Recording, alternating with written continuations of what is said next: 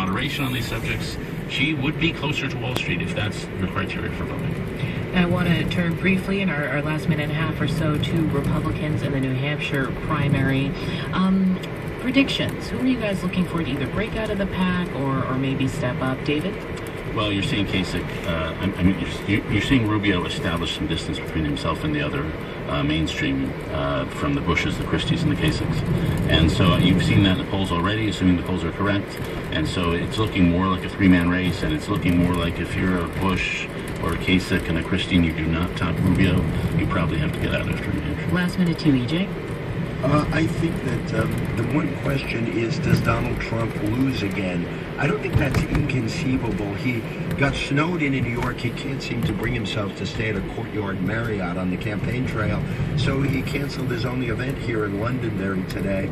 And I'm just wondering if uh, the same thing may start happening to him uh, in New Hampshire as happened in Iowa. I don't think it's going to happen, but it does seem like a possibility and we'll be watching that with you. David Brooks of the New York Times, thanks so much. Thank you. And EJ Dionne of the Washington Post and bestselling author of the book Why the Right Went Wrong. Thank you. Thank you, Audie.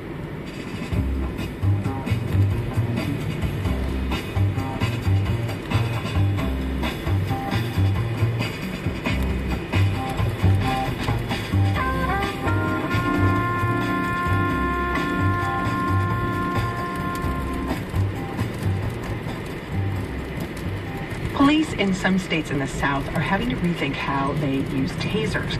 This after a federal court decision that affects the southeast of the country.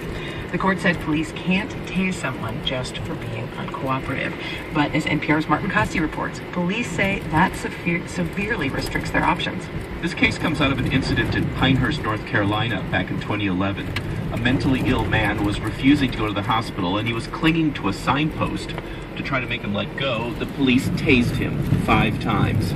He died a few minutes later. By any reasonable standard, the force used at Pinehurst was unreasonable. That's Sergeant Jonathan Puckett. He's the use of force trainer for the police department in Norfolk, Virginia. He says his officers are not allowed to tase a passive resistor like this.